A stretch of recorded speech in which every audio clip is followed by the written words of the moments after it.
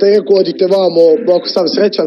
A on diže Bora smo došli tu, on je rekao, brate, sad mi je drvo reklo. Veliki šef da, hoće, veliki šef je odlučio da ovaj napišem ja košuljicu, mislim ja ću da vam pomognem i to sve. Da, da. Da, Bora i ti dobijete emisiju na Pinku, ali da prvo uradite pilot, pa zavisi kako bude prošlo, zavisi ostale.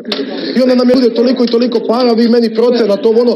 Čim je on nama rekao, vi ćete meni davati procenat i to, ja sam povjerovao, ja znamo da Miki voli procente i, i ostalo. Istina. A nikad nam ne bi I ja i uzeo, Bora meni smo to u se- glavi ni čudno Bora i nije ja, bilo. sam, ja sam I se iskreno, pare, ja sam se iskreno naložio, mislim iskreno naložio, brate, jesi, znaš sve sam treba da kažeš, sam ostalo. ja sam rekao, znam, ja sam se naložio, ja sam se naložio.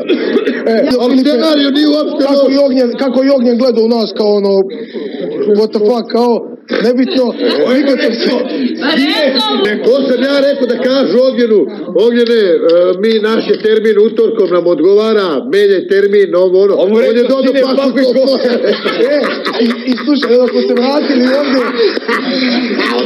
i Miki je rekao, ja sam vas naložio kao nema ništa, znaš, pa čego